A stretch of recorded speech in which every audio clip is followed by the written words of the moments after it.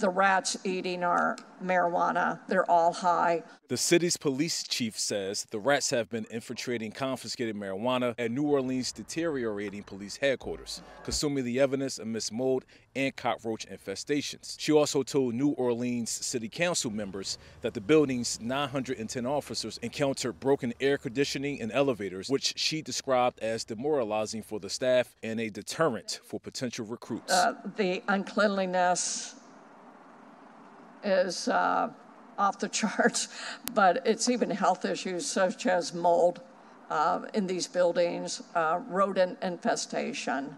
People shouldn't have to come to their office and see rodent drippings on their desk. The City Council is considering a plan to allocate $7.6 million for a 10 year lease, aiming to temporarily move the police headquarters to two floors within a downtown high rise building. And there's just been incredible disrepair, and that's no disrespect at all of the janitorial housing cleaning service. They deserve an award. The superintendent emphasizes that officers lack restroom facilities, deeming it unacceptable for the department's plumbing to fail entirely. We value our employees. You can't say that and at the same time allow people to work in conditions that are not acceptable. I'm Sergio Cruel, Spectrum News.